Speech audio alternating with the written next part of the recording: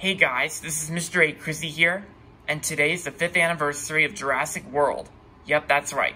On this day in 2015, Jurassic World came out in theaters. Happy 5th anniversary. It's been exactly 5 years since this, this new Jurassic Park movie came out, which is called Jurassic World, starring Chris Pratt and Bryce Dallas Howard. And I do remember seeing this movie in theaters when it first came out on, in, on, on June 12, 2015, and I think it's a pretty awesome movie. The sequel, I think, is pretty good in my opinion, too. The sequel that came out two years ago. Yeah.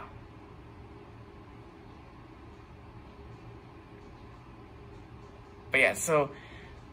And and of course, yeah, I am a fan of the Jurassic Park movies. I actually really like them. They're, they're, they're, I think they're really awesome. Like, but, but I, but I still think the first Jurassic Park movie, I, I, from 1993, I think that's still the best one in my opinion. Jurassic World is still pretty awesome in my opinion. And to be honest, I think I kind of I think I kind of like Jurassic World a lot better than than Jurassic World Fallen Kingdom, the sequel that came out two years ago in 2018. Yeah, and the cast members do a, do a good job, like Chris Pratt and Bryce Dallas Howard. They both they both do great. They both do good in, in those movies.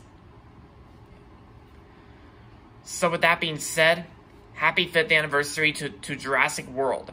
And so that's going to be it for this video. So make sure to give this video a thumbs up and subscribe to my channel if you haven't yet. And as always, thanks for watching. And this is Mr. A. Crizzy saying, goodbye everybody, and that's about it.